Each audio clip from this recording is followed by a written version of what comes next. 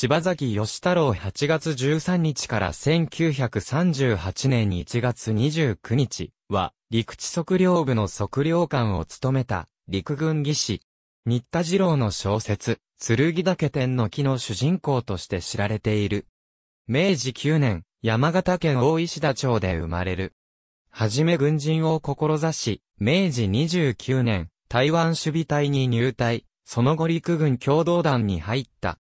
明治36年12月に、参謀本部陸地測量部、おさむぎ所に転じ、陸地測量士として三角化、第4班に配属された。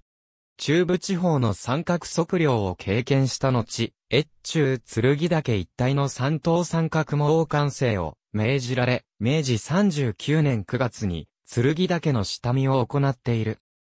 翌年7月、山案内人の宇治長次郎、助手の生田信らと共に、未踏法とされてきた剣岳登頂に成功し、山頂で主言者が残したと考えられる尺状の頭と鉄剣を発見した。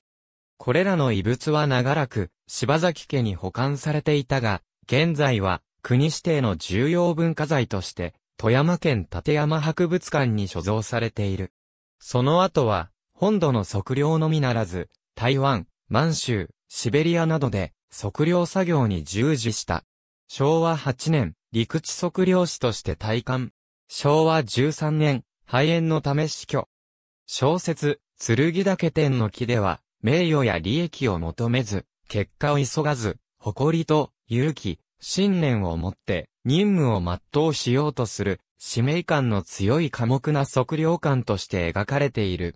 漢方第1546号。大正6年9月26日。官報第1858号。大正7年10月11日。ありがとうございます。